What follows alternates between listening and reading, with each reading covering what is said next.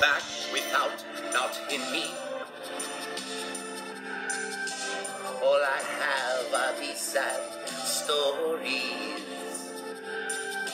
Something said to keep you laughing